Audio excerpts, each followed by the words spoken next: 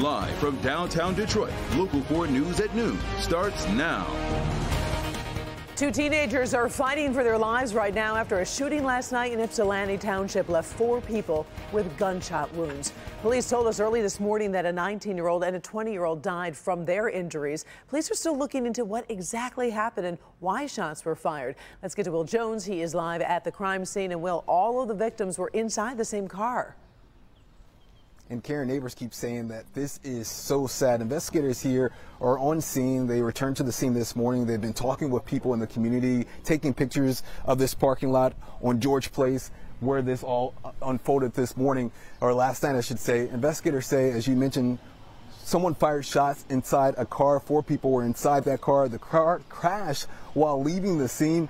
All four were taken to a hospital. Two people later died from their injuries, ages 19 and 20. A 14 year old and 16 year old remain in the hospital. They are expected to survive. Police are searching for the person or people who fired the shots. Right now, no information on who police are looking for or what leads they're following up on at this hour. I spoke with a neighbor this morning off camera who was looking at the damage to her car. She was very upset about what unfolded here in our community. Again, so many questions. Police are still searching for the people or the person responsible.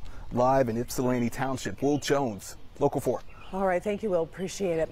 Take a look. This man accused of assaulting a teen and hurling racial slurs at him. Police say 20-year-old Emoez Irfan from Livonia bumped into a 13-year-old at the Kursky Recreation Center and then hit the teen multiple times in the head. Officers subdued Irfan and then took him to the hospital for a psychiatric evaluation. He's charged with assault, ethnic intimidation, and resisting police. He's due back in court on Thursday. We'll have more on the case tonight when you join us on Local 4 News at 6.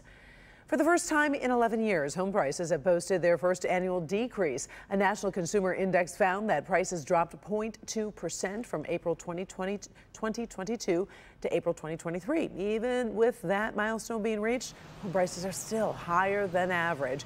Experts say low inventory is keeping demand high, allowing for sellers to keep their prices up. Interest rates have also played a factor.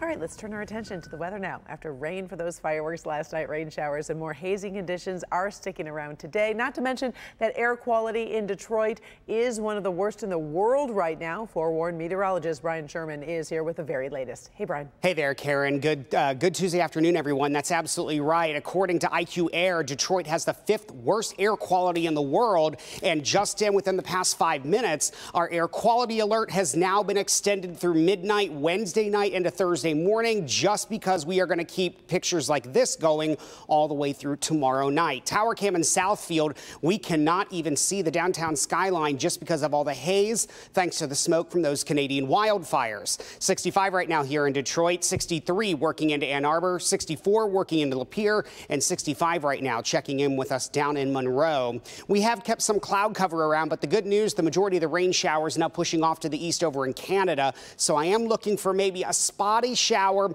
but a few breaks in some of the clouds heading into this afternoon. Still optimistic that temperatures will head for the mid 70s by the time we get to late this afternoon and into early this evening. While air quality will impact us today and tomorrow, we are looking at the possibility of thunderstorms by the end of the week. We may be seeing another round of a few stronger thunderstorms by Thursday as well. I'll break down what you can expect in your complete 4Warn forecast coming up in just a few minutes. Karen. All right. Thank you, Brian. Cleaning up is still happening in so many communities this afternoon. Days after those violent storms Sunday evening. Plenty still without power. Right now, DTE says 21,000 customers are still in the dark. That's definitely an improvement. For comparison, that number was around 55,000 yesterday at 5. DTE says it has brought an additional crews from outside our area to help complete those repairs. We are learning more today about a Sunday incident in Macomb County involving a pedestrian and two vehicles. The 44-year-old male pedestrian from Roseville was initially struck by a Chev Chevy Silverado on southbound Gratiot. The driver immediately called 911 as the victim laid on the ground. The driver then reported that a second vehicle, a Ford Taurus, struck the pedestrian as well. Both drivers remained at the scene and then did cooperate with the investigation. The pedestrian was pronounced deceased at that scene. Bryan Kohberger, the man accused of murdering four University of Idaho students, uh, seven months ago, is expected to appear in court for a pretrial hearing today. Now, he is facing four counts of first degree murder, and now prosecutors say they plan to seek the death penalty. Erin McLaughlin is following this story for us. In an NBC News exclusive, the father of victim Kaylee Goncalves reacting to news that prosecutors plan to seek the death penalty against Bryan Kohberger, the man accused of murdering his daughter and three other students at the University of Idaho. Sense of relief. I'm glad that we're in a situation of, of strength and uh, the evidence is there, and we feel that we can, you know, they can go forward with this. The family's attorney believes it's a clear cut death penalty case.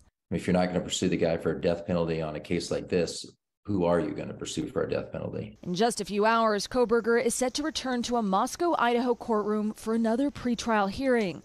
His legal team is requesting records from last month's grand jury indictment of their client and are asking the judge to pause legal proceedings until they receive those materials. Already a key part of the case for both sides, Kohberger's DNA and where it was and wasn't found. While prosecutors said in a court filing earlier this month that Kohberger's DNA is a statistical match to DNA found on a knife sheath at the scene of the murders, his lawyers say authorities did not find any victim DNA in his apartment, office, home, or vehicle. Is this your car? He's had over a month before those search warrants were executed after the crime to throw away his clothes, wash his clothes, wash his car, clean out his apartment. There's multiple ways to explain the lack of DNA in his vehicle, in his apartment there's not a lot of ways to explain his DNA on the sheath of the murder weapon. The legal battle is also unfolding just over a mile from the scene of the quadruple homicides. The off campus home where Madison Mogen, Kaylee Goncalves, Xana Kernodle, and Ethan Chapin were killed was set to be demolished. Before a judge ruled it should be preserved. Now, the University of Idaho says they hope to have the house down ahead of the new school year. The Goncalves family says the house should be preserved through trial. I don't want to sit six months from now and hear somebody in the court case say, Well, I really wish we could be in house right now. Once the case is over, then they can move on. But right now, it's the crime scene. Kohberger has denied any wrongdoing. He is due back in court for another hearing later today.